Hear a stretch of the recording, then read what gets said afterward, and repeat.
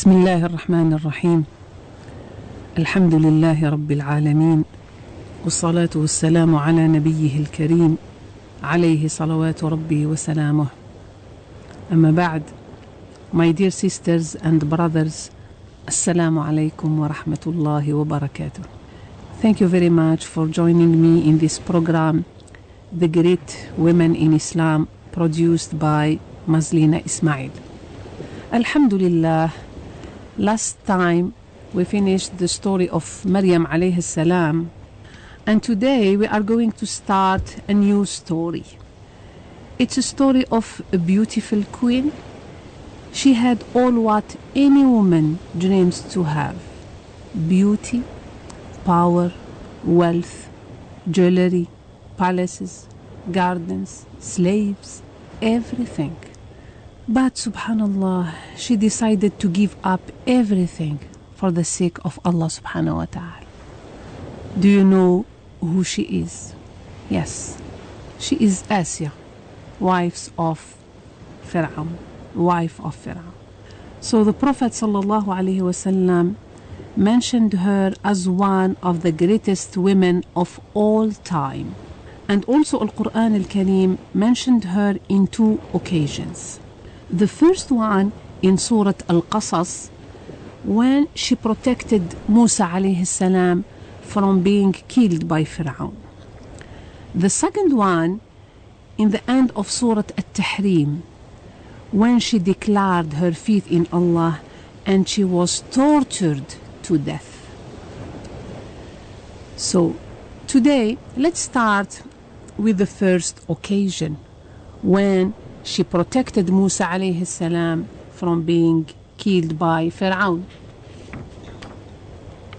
So as we know the story, Al-Kahana, the soothsayers of Fir'aun, had notified him that an Israeli man would rise to overthrow him and put an end to his life.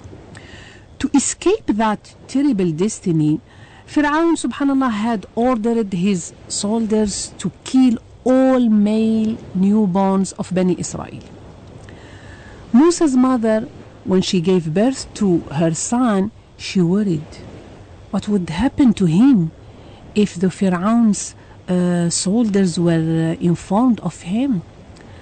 But Alhamdulillah, subhanallah, at that critical moment, Allah subhanahu wa ta'ala inspired her inspire her like he mentioned in the Quran and can be translated to so we sent this inspiration to the mother of Musa suckle him. But when you have fears about him cast him into the river. But fear not nor grieve for we shall for we shall restore him to you and we shall make him one of our messengers so the mother, Musa's mother, put him in a wooden box and pushed it into the Nile River. But subhanallah, in that morning, Asiya was sitting by the Nile and suddenly she saw a small box heading for the green bank. She ordered her guard to bring her uh, the box and when she saw the baby, she became attached to him. Of course, Fir'aun was furious to see that little baby because he can recognize from it means from his face he is not an Egyptian boy, he is from Bani Israel. So we have to apply the rule, we have to apply the law, we have to kill him.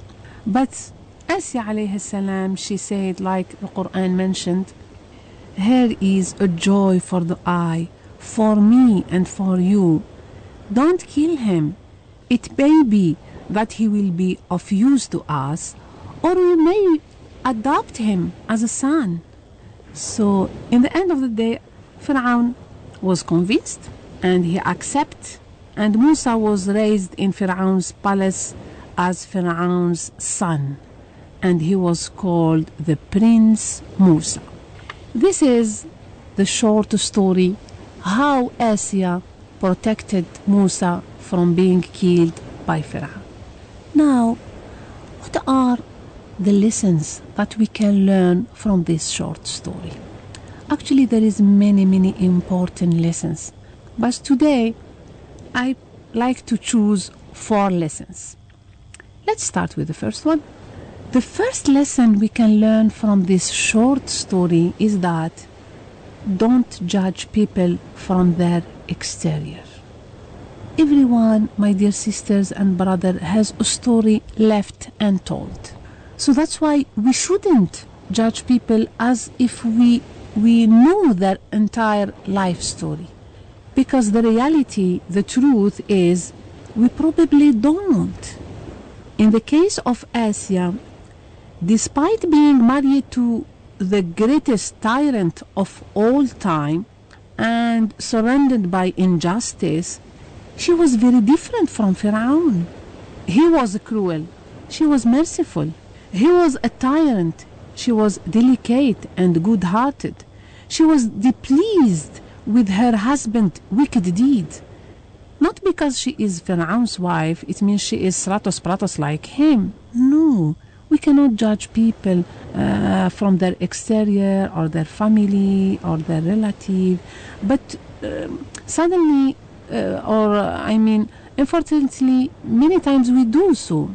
So sometimes when we see some women some women or girls they are not wearing their tudung or they come from no religious family we immediately accuse them that they are bad and they don't deserve our respect but actually we don't know what is inside their heart.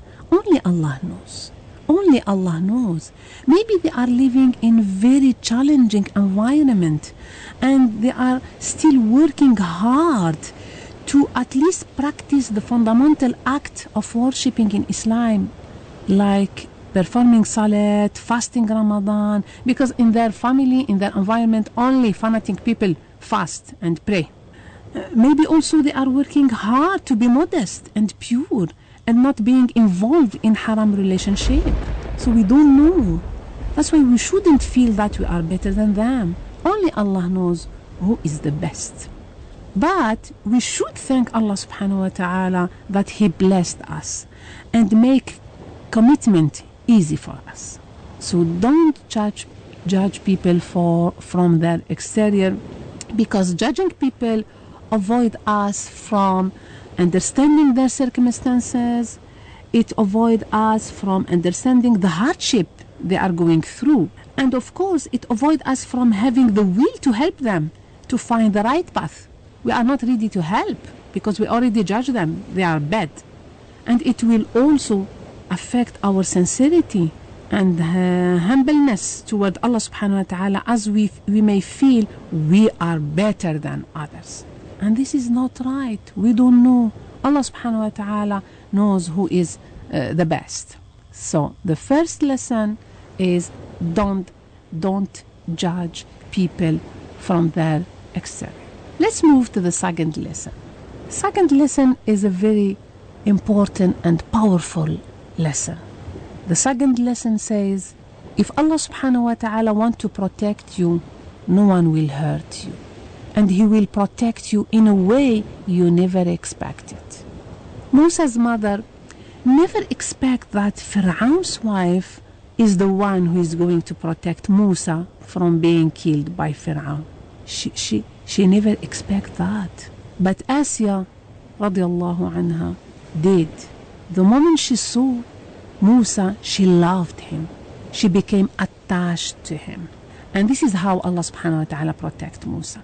Allah said in the Quran, وَأَلْقَيْتُ عَلَيْكَ مَحَبَّةً مِنِّي I made you attractive and valuable. So anyone saw Musa, he just loved him. So, and this is what happened also to Asiya. When she saw him, she loved him and she became attached to him. And she refused that Fir'aun will kill him. So that's why the lesson is if Allah is in your side, no one can hurt you. But if He is not, no one can defend you. So we have always to be in Allah's side so He will protect and defend and defend us. This is a great lesson that Nabi Sallallahu taught it to Ibn Abbas when he was less than 13 years old. This very important lesson Nabi Wasallam taught it to Ibn Abbas رضي الله عنه when he was less than 13 years old. In the famous hadith uh, re reported by Tirmidhi, uh, Abdullah ibn Abbas radiallahu anhu reports, one day I was behind the Prophet sallallahu alayhi wasallam when he said to me, young man, I will teach you some words. Be mindful of God, of Allah, and He will take care of you. Be mindful of Him, and you shall find Him at your side. If you ask, ask of Allah. If you need help, seek it from Allah. Know that if the whole world were together, together, if the whole world were to gather together in order to help you, they would not be able to help you except if Allah had written so. And if the whole world were together, together in order to harm you, they would not harm you except if Allah had written so. The pens have been lifted and the page, pages are dry. So this wonderful hadith, in this wonderful hadith, Nabi Sallallahu taught Ibn Abbas that you don't have to fear people or fear shaitan or fear ghosts or fear hantu or fear dolls that we, we, that we are teaching our children to, to fear. Just fear Allah and full stop. If you fear Allah, you love Him, you know Him, you are close to Him, you obey Him, you submit, full submission to Him. So Allah is in your side. If Allah in, is in your side, no one can hurt you, no one can harm you. Maybe some people will tell, but you know, in our daily life, we can see many people disturbing us and causing problem for us. Okay, this is the hardship. They can disturb you. They can uh, do their best to, to, to cause a problem for you. But if Allah is in your side, you will survive. He will defend you. He will protect you. And this hardship will stronger you, will make you strong. And in the end of the day, this hardship will be in your favor. You will benefit from it. Like he did with Ibrahim alayhi salam, with Yusuf alayhi salam, with Musa, with Isa, with all. So enhance your relation with Allah subhanahu wa ta'ala because this is what will protect you from any harm. Of course, um, it's very important to mention that in educating our children, especially in this young age, uh, less than 13, uh, most of the time we concentrate about teaching them the adab the adab of eating, of going to the toilet, of uh, many things. And this is very important. Behavior is very important. Akhlaq is very important. But from this hadith, we understand that the most important thing, the priority is to teach them the aqidah, to help them to understand and to build a strong relation with Allah subhanahu wa ta'ala and to believe deeply if they are in the side of Allah subhanahu wa ta'ala sure stratos pratos. Allah will help them will protect them will defend them. No one can hurt them. Can you imagine how our children will become very strong with this strong aqidah? But nowadays parents sometimes even some teachers in the school if they want to, to control the child and to make him um, a very good child obeying the orders they will just uh, try to make him uh, afraid of uh, a shaitan uh, the ghost hantu dolls uh, uh, Allahu Akbar. We have to know, my dear sisters and brothers, in this way we are destroying the aqidah of our children. A shaitan is a weak creature. He becomes strong only when we are weak. That's why Allah subhanahu wa teach us. Just mention the name of Allah, a shaitan will run away. And the same for other creature. So fear the creator, don't fear the creation. So this is a very, very important lesson we learn from the story of Asya alayhi salam. The third lesson, the third lesson is the importance of convincing skills, negotiating skills, communicating skills, all these kind of skills in developing Muslim woman personality. So we saw in the story that Asya alayhi salam wanted really to protect Musa. But clearly this is not an easy duty. This is not an easy uh, mission. Why? Because this means that she need to break Fir'aun rule, Fir'aun law. And this is not easy. Because Fir'aun, he wasn't an um, ordinary president or ordinary uh, king. He was claiming that he is God. So breaking this rule, it means breaking God's rule. So it wasn't easy. But from the story, we learn that Asya alayhi salam, she managed to convince Fir'aun not to kill Musa. And not just that, she convinced him to adopt or to adopt Musa as a son. Allahu Akbar. How she was able to do so, to convince Fir'aun to adopt Musa as a son. She did it because she has the skill. She had the skill. First, she chose a soft and a wise manner. She was talking to Fir'aun as a soft, loving wife. Please don't kill him. But actually, this is not enough to convince Fir'aun not to kill Musa and to adopt him as a son. She had to find the weaknesses of Fir'aun and use it to convince him. Fir'aun didn't have boys, he, he didn't have sons, he had only daughters. And he wished to have a baby boy. This is the key of Fir'aun's personality. So Asya alayhi salam, she used this key. So we don't have boy, and we wish, and you, sure, my beloved husband, you wish to have a boy. So let's adopt this baby as uh, as our son. Of course, uh, Fir'aun, he was he will he can see from his, the face of this baby that he is not Egyptian.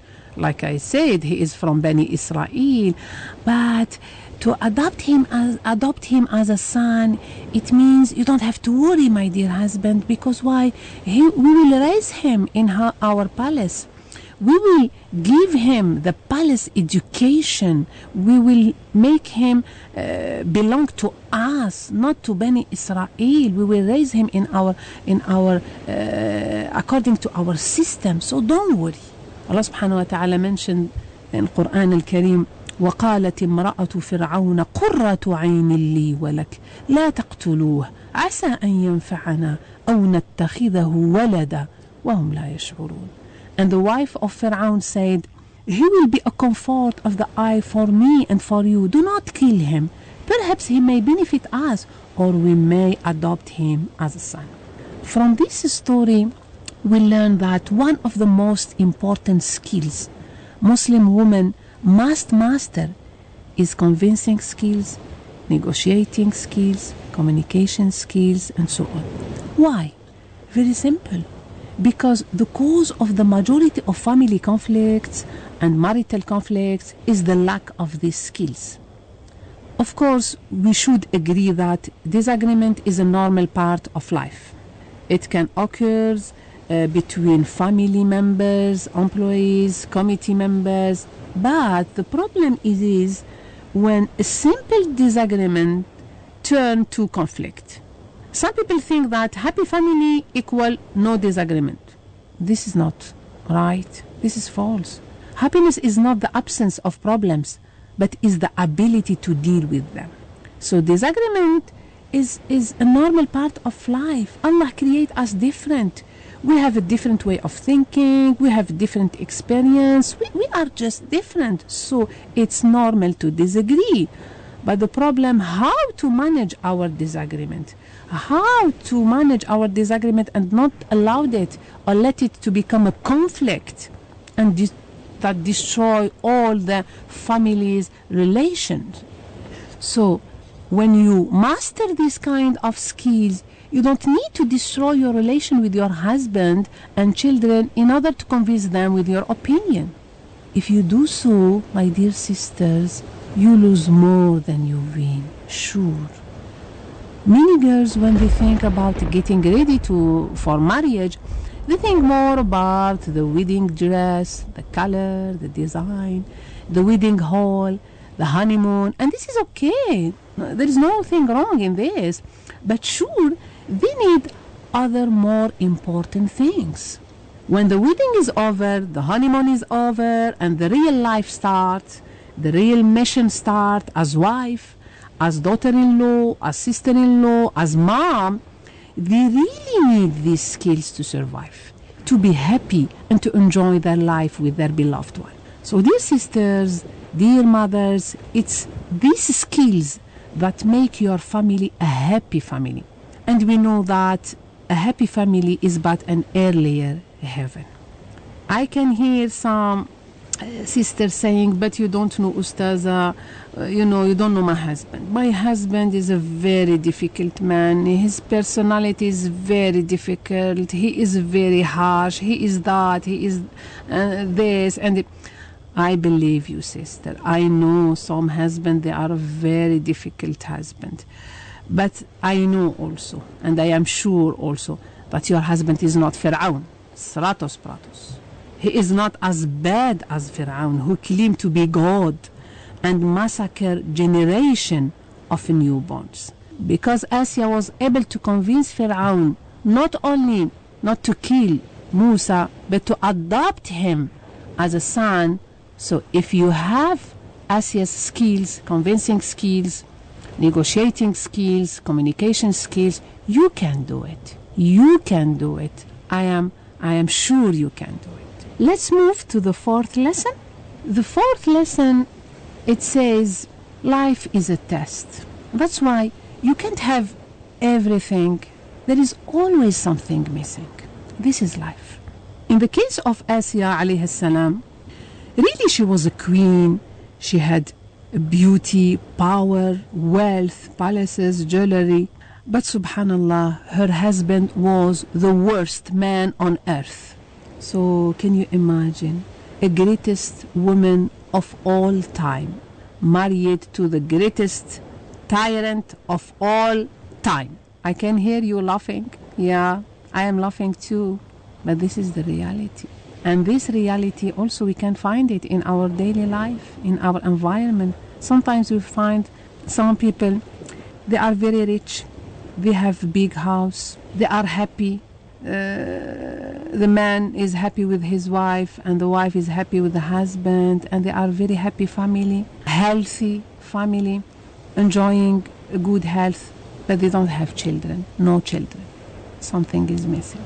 Another family, they have wonderful and healthy children, five, six, seven, sometimes ten, but not enough money to educate these children, to take care of them in the correct way. Some money is missing. Sometimes you find some people or some family, some couple, they have money, alhamdulillah, they have children, they have a big wa- uh, house, they have a uh, uh, good job, but they are sick. They have a chronic disease. They are not enjoying anything in this life because they are very sick. The majority of their time, they are spending their time in the hospital. They wish if they can give all their wealth to become a healthy again, but no way. So this is life. Life is a test. We can't have everything. Always there is something missing. So that's why we don't have to waste our time asking why this happened to me and uh, challenging Allah, Ya Allah, why you gave me this? Or you didn't give me that? Why? We don't have to do that because life is test. We have to do our best to overcome the hardship and to learn from it and become stronger and benefit from it the maximum we can. And we have to remember always that Allah subhanahu wa ta'ala tests us to increase our iman and our trust in Him.